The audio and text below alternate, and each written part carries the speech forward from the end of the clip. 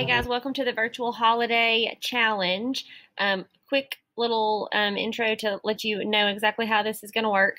So, there are six different challenges that are within this slideshow for you to attempt over the next couple of weeks.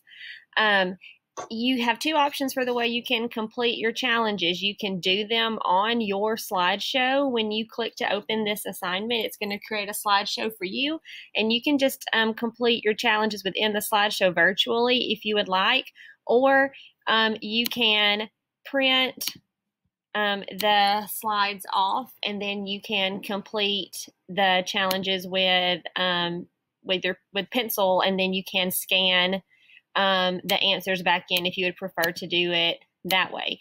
But if you're going to do it virtually, really quickly, just so you understand, for each challenge, you're going to have directions for how to complete it, and then you're going to have some information on how many points that challenge is worth.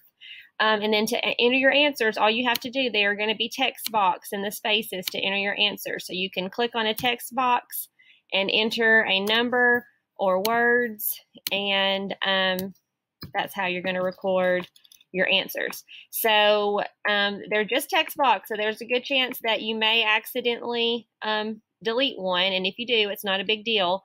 Um, this undo button right here is going to be your best friend. You can click undo as soon as you delete something and it should come right back for you. Or if you're um, having a hard time making that work, you can always just click this little text box creator right here and you can make your own text box to add um, your answer in if you need to do that.